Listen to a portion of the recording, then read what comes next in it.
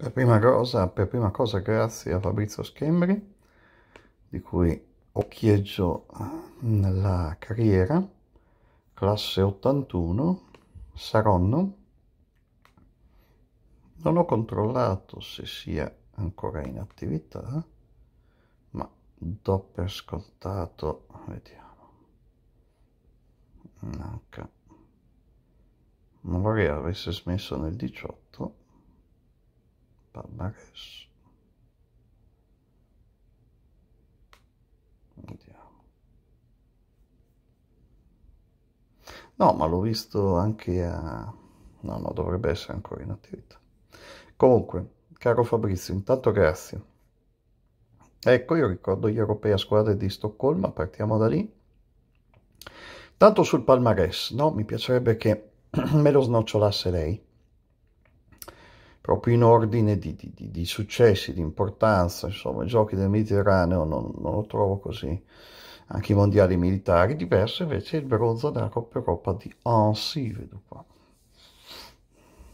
Ecco la finale mondiale a Mosca, splendido, in tre europei, quelli lì avevo seguiti, Euro Indoor, esatto, infatti la ricordo, eh, campione italiano in carica nel, nel, salto triplo, esattamente, anche se vedo che mancano, mancavano i risultati dell'ultimo anno, quarto al coperto.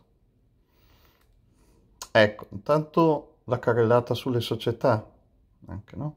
Tanto quando fu il primo tesseramento, quanti anni aveva, perché ha scelto il triplo e non il lungo, la magia del, eh, del salto triplo, appunto così in là, se c'è un'affinità per esempio con l'asta. Sono molto amico di Giuseppe Gibirisco, anzi devo sottoporlo ad analogo test e siciliano mi diceva che lassù è come volare. No? Poi la tecnica, la galleria di allenatori che ha avuto, gli infortuni gravi se ci sono stati, uh, i momenti belli e quelli meno positivi. Eh, il bel duello a distanza con uh, Donato, no, con Fabrizio Donato, il bel duello a distanza con eh, Daniele Greco che purtroppo è stato penalizzato dagli infortuni e quindi è un duello a distanza che è durato poco. Uh, la scuola italiana, la galleria di, di campioni, um, credo ci siano stati, e di atleta Giuseppe Gentile, certamente, Messico 68, primatista mondiale per 20 minuti, ricordo la storia, anche una galleria Fabrizio di personaggi al femminile, poi punti di riferimento a livello mondiale, Jonathan Edwards, la cavalletta e i suoi fratelli. Consideri che sono stato al Principato di Monaco per eh, la Diamond League e lì ho conosciuto i Barwen, intervistata, e poi gli specialisti mondiali di cui uh, non ricordo i nomi in questo momento, due americani, due americani. Come vede Fabrizio anche il, uh, io parlo sempre del 2050, no? come sarà il salto triplo fra, 50, fra 30 anni, come sarà l'atletica in generale. Poi Fabrizio i suoi giudizi, le emozioni sull'atletica, il fatto, il privilegio di aver fatto, eh, di aver vissuto e magari di vivere tuttora, eh, quando avrà finito la carriera, magari farà l'allenatore o il dirigente, eh, la galleria dei suoi personaggi, no? i tre personaggi a cui deve di più, eh, allenatori, dirigenti, i passaggi, dicevo, eh, tra le società sportive, Rovellasca, Brianza, Carabinieri, Rovellasca di nuovo e poi Carabinieri, le maglie azzurre, eccetera. E poi uh, Fabrizio, eh, la scuola italiana nella storia, dove la, dove la piazziamo, insomma, no?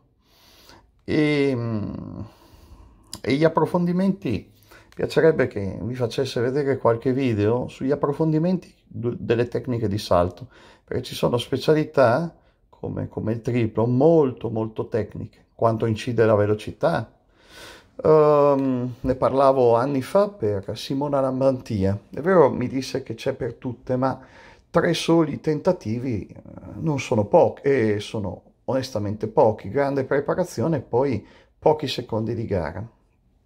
Cosa cambierebbe nel, nelle regole, nella tecnica, insomma, magari, uh, non lo so. Ecco, il, i metri, mm, cioè la, la dinamica di, la, tecnica di, di stacco, no? Quindi vorrei che mi raccontasse, caro Fabrizio, eh, proprio uh, da quanto prima si parte, no? eh, o quanto è, lunga la, quanto è lunga la rincorsa, la velocità che si tocca, l'affinità anche con altri sport, che so, uh, si salta, voi saltate, sì, triplo, e viene in mente, non so se c'è un'affinità con il volley, con il basket, credo nulla, eh, i salti in estensione. Poi quali sono i migliori allenatori del mondo? Uh, magari una scuola emergente, un paese emergente e un paese invece calante. E tutto quello, Fabrizio, che le facesse piacere soprattutto il focus sul fuori dal campo, no? i suoi hobby, uh, le sue giornate, le sue letture.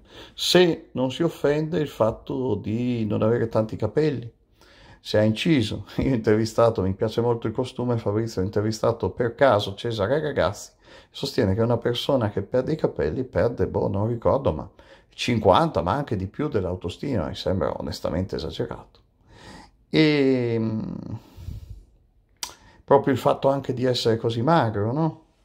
Sono, eh, ci sono mm, eh, discipline in cui c'è una fisicità molto superiore alla vostra. E poi ancora Fabrizio sul se esiste il fascino dell'atleta, no? Lei sa, e poi mi piacerebbe se volesse capitolo compensi, no? Non parlando tanto di lei, ma in generale de, de, degli atleti del suo livello, del suo esercizio, de, della sua specialità. Credo che tutta l'attenzione sia per i, i velocisti. I velocisti credo guadagnino molto di più anche in contratti tipo Filippo Torto e così invece i concorsi molto meno, il giavellotto, insomma. E, ehm, cosa si può fare per rendere l'atletica più popolare? Consideri Fabrizio che appunto sono stato a Monte Carlo, il giorno prima ero l'unico giornalista italiano presente alla conferenza di vigilia e sono gratis a mie spese. E tutto questo Fabrizio lo faccio gratis a mie spese anche alle volte contro tutto e contro tutti. Tra l'altro mi piacerebbe, Fabrizio, le dicevo, eh, dei bei video da parte sua, addirittura le potrei eh, dare la password del mio YouTube in maniera che possa caricare lei a suo piacimento. Considerasse, ma è una profferta che farò a tanti, eh, e vannizagnoli.it come il suo sito. Cosa mi piacerebbe ricevere Fabrizio? Beh, al di là delle risposte, il fatto poi di mandarle le domande in questa maniera eh, come posso dire, ci sono dei passaggi che proprio non accetta, ovviamente li può dribblare senza problemi e, e quindi non, non, c'è neanche magari quelle, quell'espressione, quel viso che tradisce nel botta e risposta in video, no?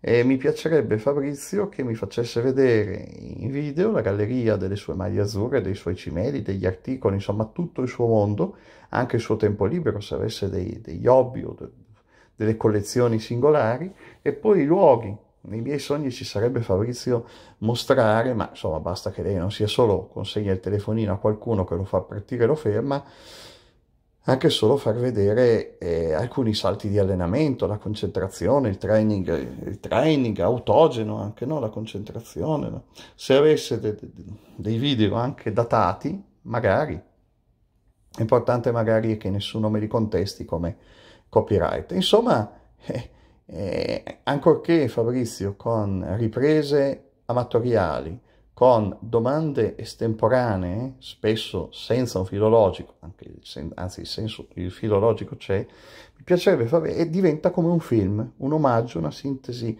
della carriera che può rappresentare Fabrizio un biglietto da visita umano e professionale suo.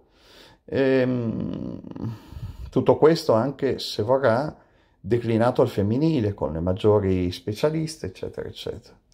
E poi naturalmente un passaggio sulle eh, differenze rispetto al salto in lungo, che insomma, grazie a, a Carl Lewis e a tanti altri era ed è credo comunque un, abbastanza più popolare del triplo e anche immagino abbastanza più pagato. E beh, direi che ci siamo. Ho solo il dubbio su Giuseppe no, Gentile con triplista. Ok mm, se a lei è mai accarezzato l'idea di fare come i Barguen ad esempio. Grazie davvero Fabrizio